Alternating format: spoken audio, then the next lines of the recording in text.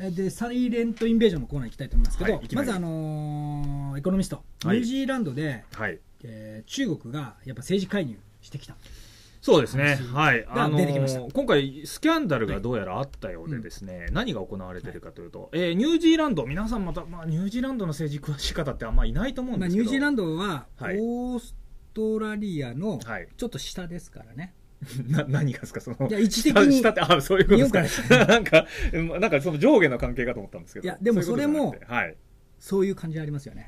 てか、言いますかそれ違う違う違う、なんかね、あのー要は、えっ、と、クライブ、怒られますよ、いやいや、ハミルトン教授がね、はいなぜオーストラリアがはい。中国から狙われたかと言ったら、オーストラリアはうん西洋で最弱だからですよ。書いてましたね。いうふうに、実際に書いてハミルトン教ましたね。授が書いちゃう。ウィーケストリンクだって言ってそうましたね。そうそう。だから、あの、一番弱いから書かれかと思いました。やられたのがはいオーストラリアって書いてあるわけですよ。そうですね。あれ？あ、そうか。ハミルトン教授の中では、はい。ニュージーランドは西洋の文明の一国家に入ってないのかと。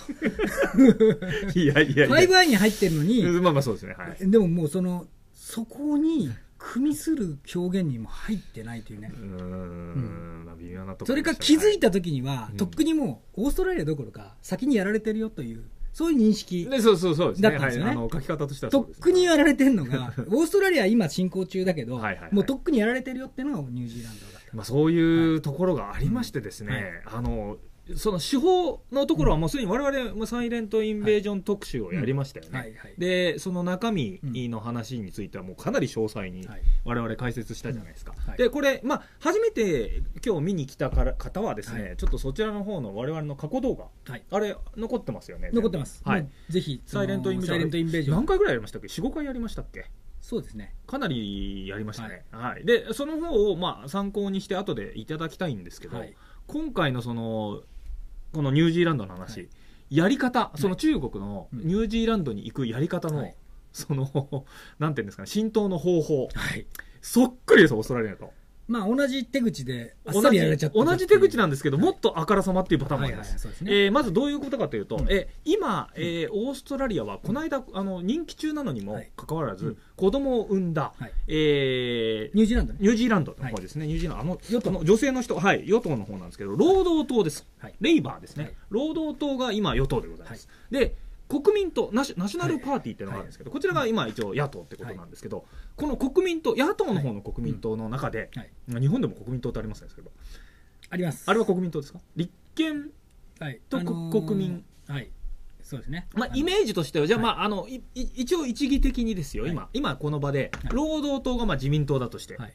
で、国民党は、うん。まあ、えー、立憲、はい まあまあ民主党にしましょうか。はい国民党はまあ民主党と同じだという形にしてください。で、民主党の、こちらの方の、まあ国民党の方の党首がはい、枝野さんみたいな感じをしてますよね。はいはい枝野さんに代わる人はサイモン・ブリッジスさんっていう人なんですよ。はい。でもサイモン・ブリッジスさんが、うんなんと自分の党に属する別の議員、はいまあ野党の中ですよ。だから野党の内紛っちゃ野党の内紛なのかもしれないですけど、そのに、このサイモン・ブリッジ党首が、なんか枝野さんみたいな人ですよ。はい。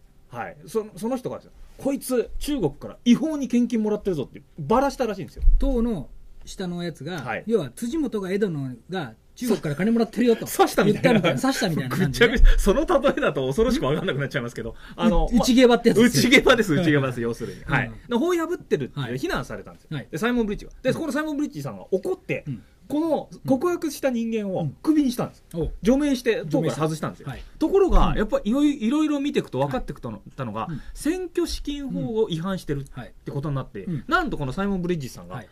えー中国はい。のエージェントとおぼしき人間から、はい。すごい細かい額でいろんなところから合計7000万円ほどの違法献金を受け取ったと。なるほどね。疑惑が出ちゃったということです。これは、はい。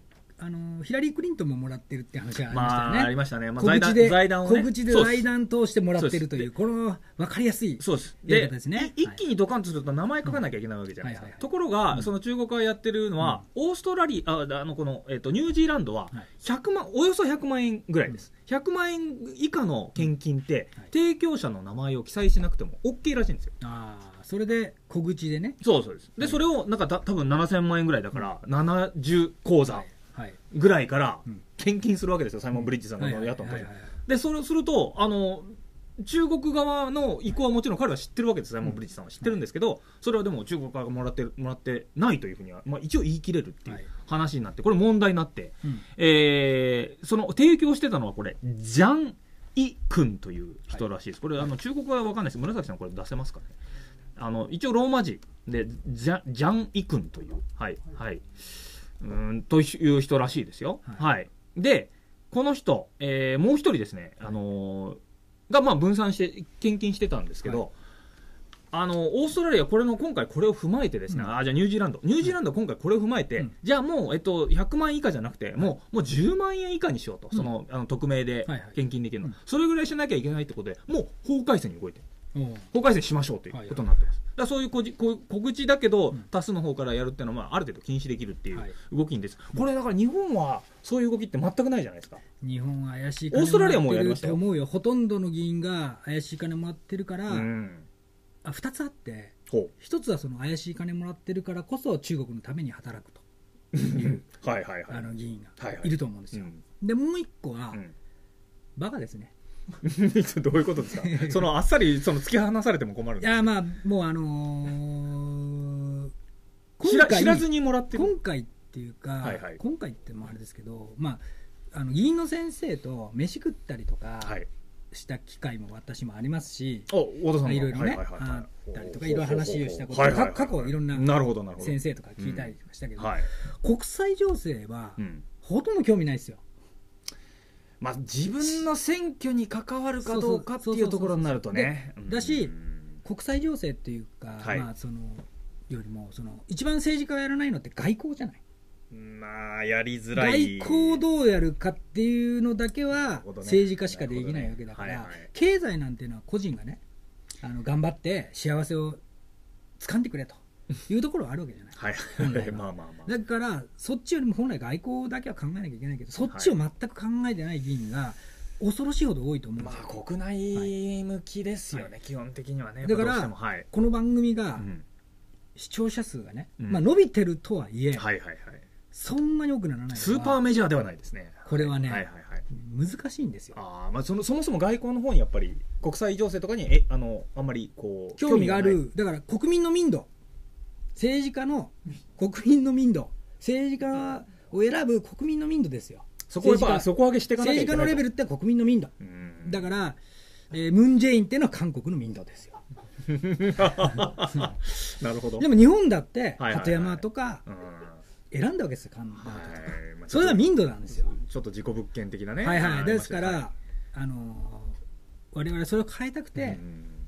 ちょっとやってるんですけど、うん。もっとこう分かりやすくね。はい。やらなきゃいけないなというふうに思うぐらい。外交の方にそうですね、興味を持っていただくっていうのはやっぱりちょっと必要かなとこの思いますよね。番はい。見て CD 買ってくださる方ははい本当スーパーエリートですよ、はい。まあでも確かにそう。でその話は後でちょっとね、はいはいはい。あの話もちょっとしてきたいんですけどね。はい。まあ、それに関連した、はい。あのワシントンレポートがありますね、そうですね、はい。でそのまああのちょっとまた別件なんですけど、はい。えーこのニュージーランド、はい。以前にも今回みたいなそのスキャンダルってありました、はいこれね僕はこれ知らなかったです。あのサイレントインベージョンにもちょっと似たようなことを書いてあったんですけど、はい。ここまでおニュージーランドあからさまだったのかっていうのはちょっとありますね、はい。えっ、とジャン・ヤンっていうジャンヤン。ジャン・ヤンさん、はい。えーこの人、まあ、中国語でどう書くのかわかんないんですけど、はい。なんと、うん。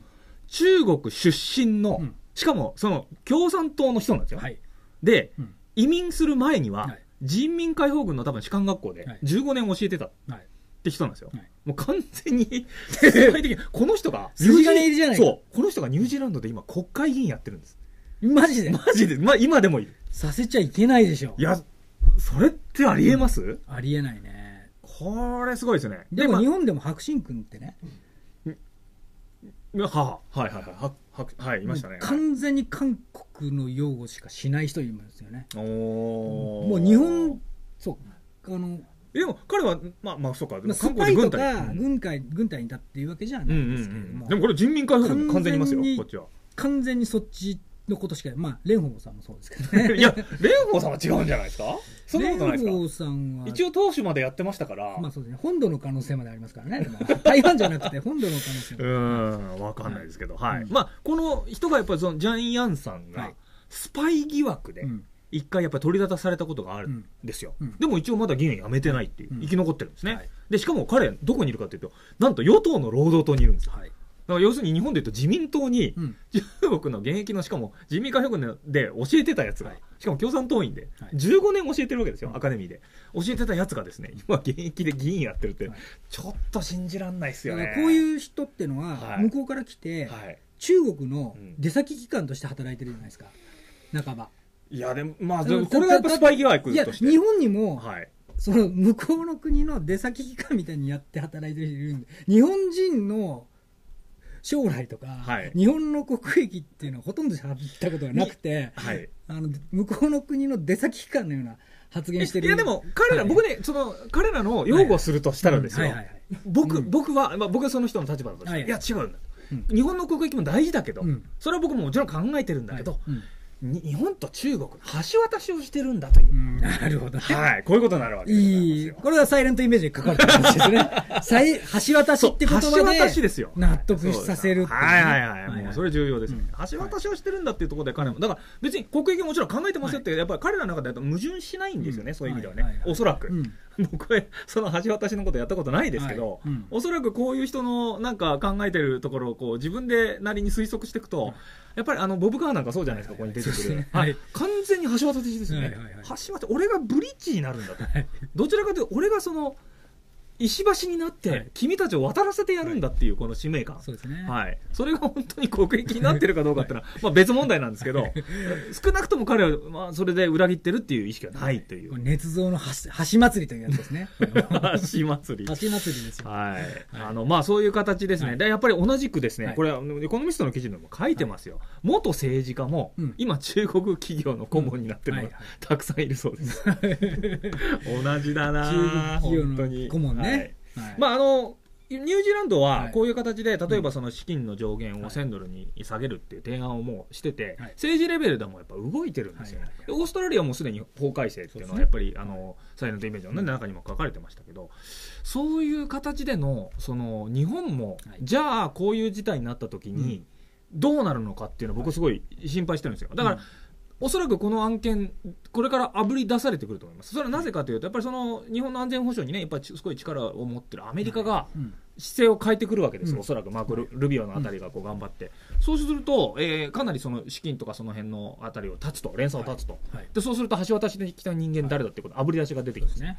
そうなってきたときに、多分おそらく来年、どうですかね、こういう問題が認識されてから上が動き始めるまでって、まあ、時間あると思うんですけど、おそらく2、3年のうちには、こういう動きって、はい。ニュージーランドとかオーストラリアみたいに法改正して、その中国の方からの資金を止めるみたいな動きは、出てくると思うんですよね。うん。まあ、出てこないとまずいはい。し、うん。でどど和田さん、それ、そう思いますか？出てこなきゃいけないですよね、日本で？日本で。出てこないといけないですけど出ないんじゃない？そういやー結局ね日本って、はい。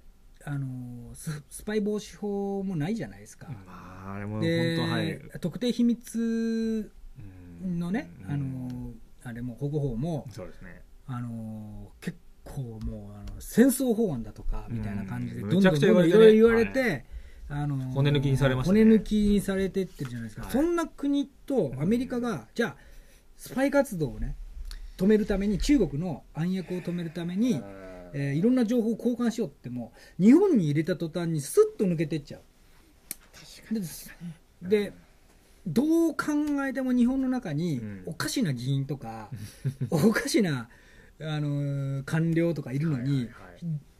おかしいじゃないですか。ここ戦後何十年も経ってはい。一人も逮捕されてないでしょ。採用されてないです、外国勢力にはいはい情報を流しうてん利することをさせたということで、うん誰も外観誰も逮捕されてないでしょはいはいはい、そうですね。ないですね。それ自体おかしいでしょまあ、おかしいですね。こんだけやられてるアメリカしょっちゅうやってますけどね。アメリカとかもそうだし、今回オーストラリアもこれがが出てきて動いてやってますからね。やってるはいわけでしょ、日本はそうですよね。ねオウムにそうだ、オウムにハボを使ってないんですよね。そう日本はあの橋龍がね、はい中国人のあの トップがそういう状態ですからね。橋龍がはい総理大臣で、で死んだ時もね中国人のはい。その留学生とうん。実婚。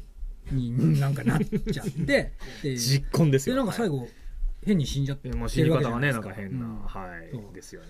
まあもうおかしいですよね。いやはいー、そうですね。はい。はい、まあそのそれもそういうのちゃんと出てないですよね、ううん。ん。あの雑誌が出ても罰せられるとか。不審死とか言って、確かにそうですね。ね？不審死ですよ。じゃあなぜかね？急に。ありましたね。中国行ってはい帰ってきてちょっとしたら。うん。コロッと。コロッと。はい、やられちゃいました。はい。こういうのありますよね、本当に。はい。戦略系のことをちゃんと勉強したいなというふうな人のために番組やってるんですけれども、はい。あの CD 授業としてね CD をやってまして、はい。それはあの戦略の階層から入って、戦略の勉強をしていただけたらと思ってますけれども、はい。えーぜひここからスタートしてですね未来予測と戦略 CD とかになってますんでぜひそしてリアリスト入門それからルトワックの一発逆転の非常識な成功法則戦略三部作のクラウゼウィッツ戦争そちらもね。これもはいあの、日本ではあの誤読されておりますので、はい。で地政学、これは日本にはないです。はい。はい。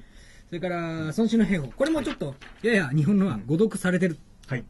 っていうことで、はい。はい。えーちゃんと解説をしているのがありますので、ぜひ聞いていただけたらと思っております。